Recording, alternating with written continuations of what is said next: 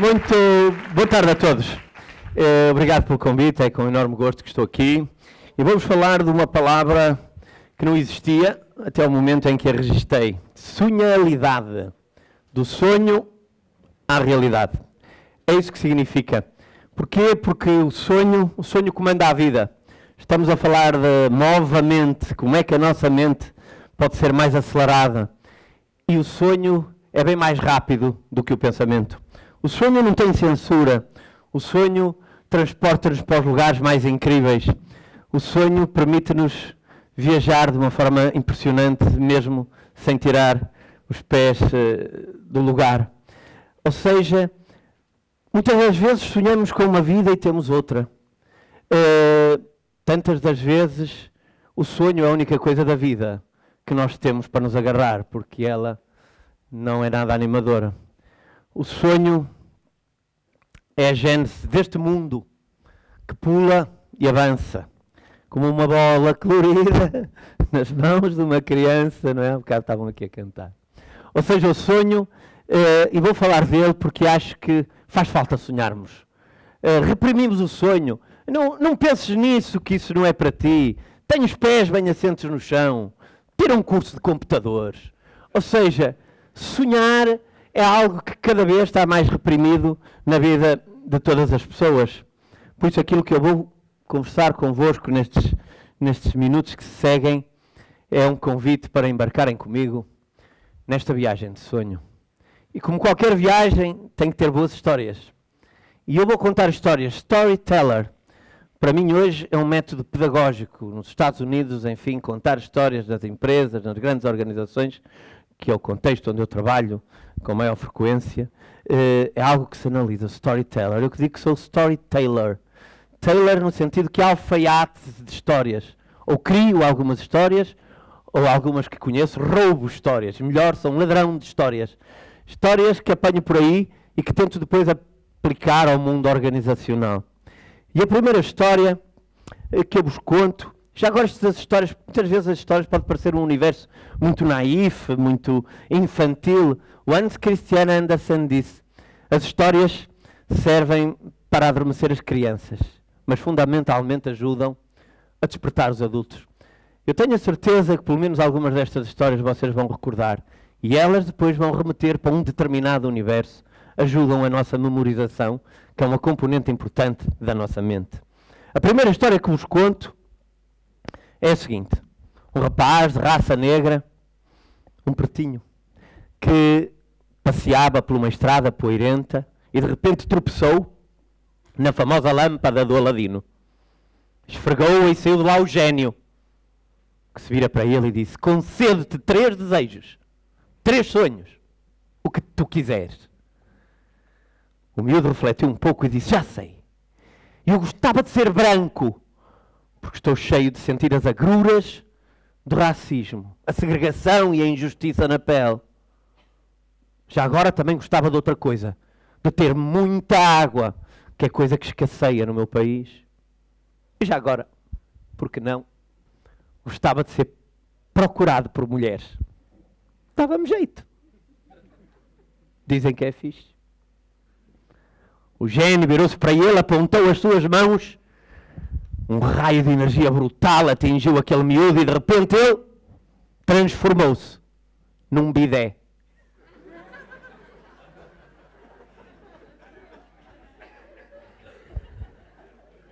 De facto, era branco, não lhe faltavam águas e mulheres. Era a fartura. Moral da história, porque tinha que ter uma história esta moral. Ou seja, nunca deixem os seus sonhos nas mãos de ninguém. Pode dar para o torto. Temos que ser nós, como diria alguém, Nelson Mandela, o dono do meu destino, capitão da minha alma. Temos que ser nós a perseguir os nossos sonhos. E às vezes dizemos, mas dava-me jeito uma mãozinha. E essa mãozinha pode ser os pais que ajudam, pode ser o patrão, pode ser o governo. Hum, não se fiem. Por isso, o melhor sítio para encontrar uma mãozinha é na extremidade do vosso braço. Já lá está. E dá um jeito. Imaginem a vossa vida sem ela. Não tinha o mesmo prazer. Por isso, a mão já lá está. Nós somos os principais obreiros da caminhada que fazemos. E é o sonho que nos instiga a dar o primeiro passo. Nada faz parte do nosso comportamento sem que antes tivesse passado pela nossa cabeça. É isso que nos distingue da couve galega, que também é um ser vivo, mas não tem miolos. E eu estou a falar de questões relacionadas com a mente. Por isso, esta, esta questão, um homem fantástico que era uma espécie de contabilista e um dia começou a escrever. E escreveu, cada vez escrevia melhor. E um dia disse: gostava de contar os dias pelos dedos encontrar uma mão cheia. Esse homem chama-se José Saramago. Transformou um sonho numa realidade. Sonhalidade. Por isso, esta questão é muito relevante. Mas para transformar o sonho em realidade, o sonho é grátis. A realidade tem um preço. O que é que temos que fazer para transformar o sonho da realidade? Vamos a isso step by step. Como diria Jack, o estripador, vamos lá pôr isto por partes. que não é nada disto que está aqui. Mas há de ser algo que está por aí. Este slide não faz grande sentido. Ou diria mesmo que não faz nenhum. Pode pôr o segundo slide se conseguir. Uh, mas eu também não preciso dele para falar. Mas é o segundo slide. Exatamente, fantástico. Aqui a equipa de TEDx funciona mais alto tempo. Palmas para o TEDx. E então, estas componentes são importantes para realizarmos os nossos sonhos. Destaco a terceira, education, diz-me muito. Trabalho nessa área. Muitas das vezes, quando chego às empresas, uh, grandes empresas, pequenas empresas, uh, e dizem, ah, mas a sua intervenção, essa formação tem um custo elevado. É cara. Eu digo-lhes sempre, ok, experimentem então o preço da ignorância. Vai ver o valor do que lhe sai do bolso. Um diretor financeiro pergunta a um homem de recursos humanos, mas, mas nós vamos estar a investir nas pessoas e depois corremos o risco delas irem embora. E o homem dos recursos humanos disse-lhe assim: Pois, se calhar era mais seguro, não investimos nada e assim garantíamos que elas permaneciam aqui eternamente. Se calhar também não era a melhor opção. Ou seja, nós temos que realizar os nossos sonhos. E frase, uma das frases mais excepcionais que, que este planeta escuta e que é um autêntico ícone Uh, o próximo slide já agora. Vamos dar do clique. I have a dream. Aleluia. Este homem fantástico, Martin Luther King, não disse: Eu tenho uma estratégia. Eu tenho um plano. Um balance scorecard. Um objetivo. Não disse: I have a dream. Esse sonho mudou a história da humanidade. Um homem contemporâneo a ele, John Fitzgerald Kennedy, que se comemora agora 50 anos da sua morte, também teve um sonho e disse, em 1961 disse, até ao fim da década, vamos pôr um homem na lua e trazê-lo de volta. Claro que se fosse um Portuga, vamos pôr um homem na lua.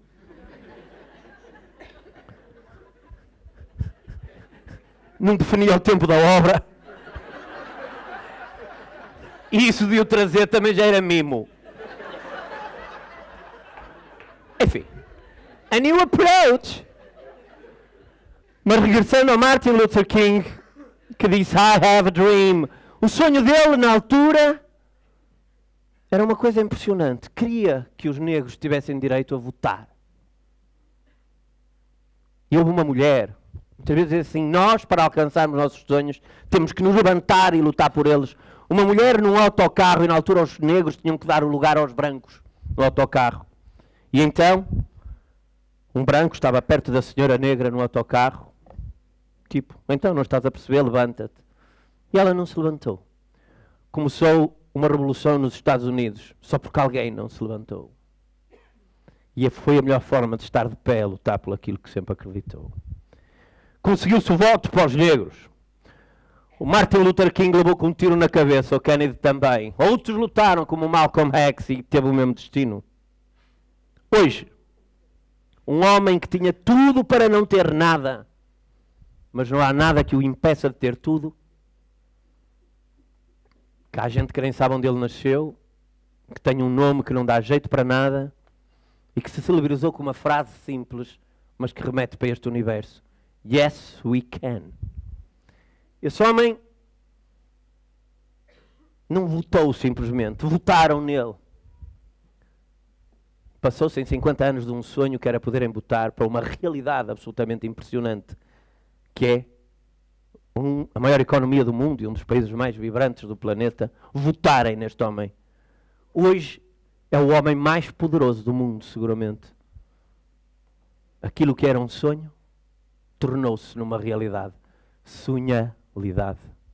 Por isso, quando pensarem que na nossa vida temos apenas um beco sem saída, lembrem-se que é somente um bom local para dar a volta.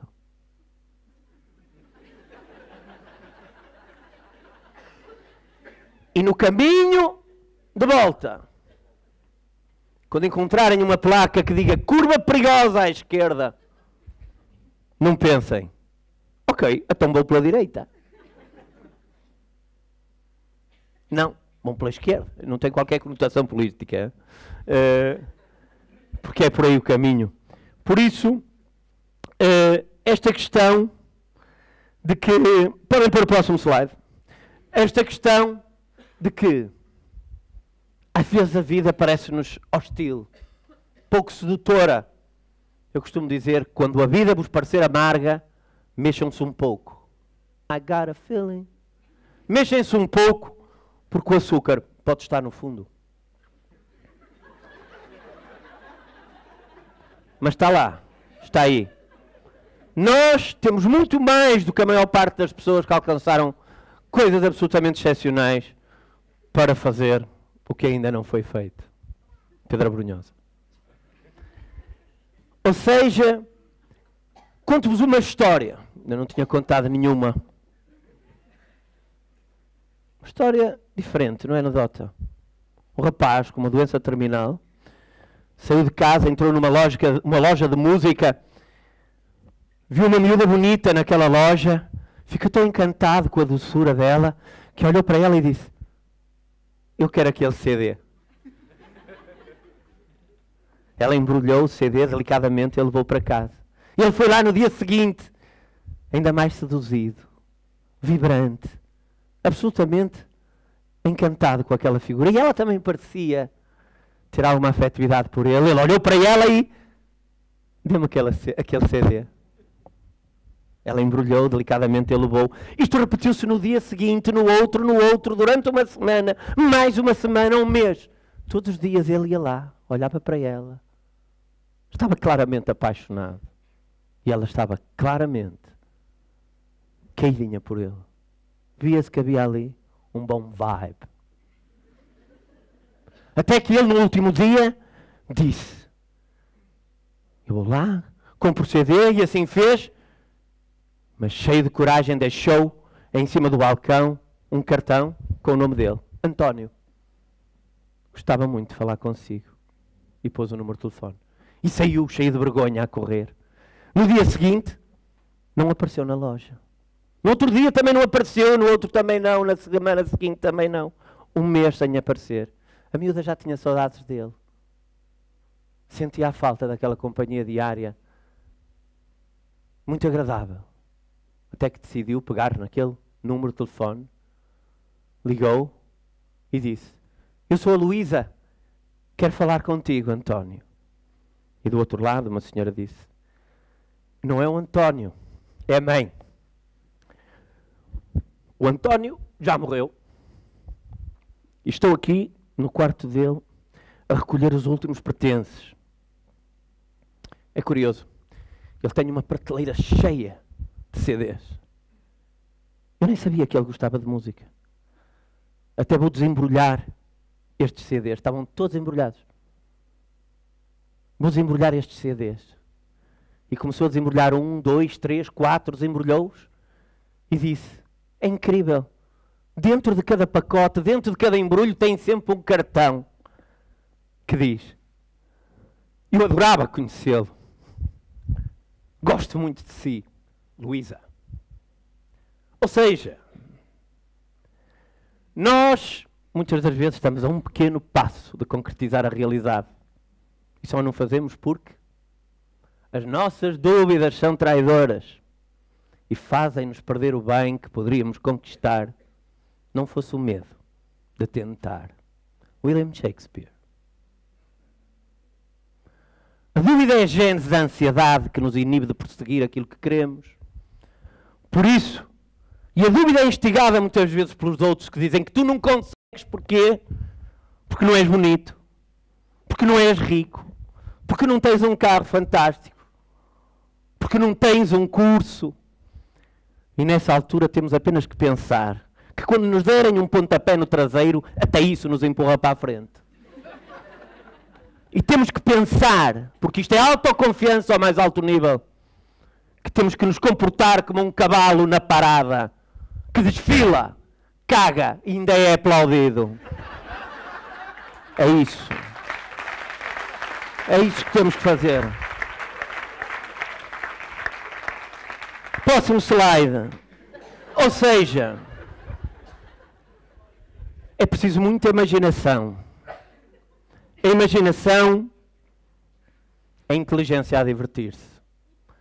A imaginação é mais importante que o conhecimento, disse-nos Einstein. A imaginação tem um fulgor imenso. A imaginação move a mente com uma força absolutamente impressionante. A imaginação e o sonho superam a realidade. Even better than the real thing. Bono Box, you too supera claramente a realidade. Como alguém diria, Jorge Sequeira, neste caso. O nosso pensamento não acaba onde a mini saia termina. Por isso, moral da história: usem saia. Saiam sempre. Saiam de manhã, saiam de tarde, saiam de noite, mas saia façam como aquela imagem que vimos há pouco. Ou seja, o cérebro é uma máquina absolutamente excepcional. 1,3 kg que temos dentro do crânio. Tão vibrante, tão incrível que essa máquina é, o cérebro, que eu chego mesmo a pensar que toda a gente havia de ter uma.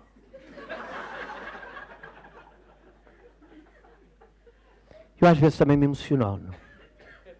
Sou quase como as pessoas a emoção, a razão que andam ali de mão dada. Por isso, esta frase, para concluir, que um homem excepcional nos disse uma vez: A dream you dream alone is only a dream. A dream you dream together is reality. Por isso, sonhem juntos que dá jeito. E uh, esta ideia de que a melhor forma de realizarmos um sonho é ajudar o maior número de pessoas que encontrarmos a realizar o delas. Porque comportamento gera comportamento. Se eu ajudar os outros, os outros vão me ajudar a mim. Não é para querer comprar um pedacinho do céu. Por isso, um provérbio africano, falamos aqui de viagens excepcionais. Uh, um provérbio africano diz: Se tens pressa, vai sozinho. Mas se quiser chegar longe, arranja companhia. Eu estive em muito boa companhia Agradeço terem partilhado comigo este momento e lembrem-se de uma coisa fantástica que o Leonardo da Vinci nos disse uma vez. Tudo que é realidade hoje já foi sonho um dia. Keep dreaming. God bless you. Obrigado. Valeu. Obrigado. Muitíssimo obrigado. Vocês são fixes.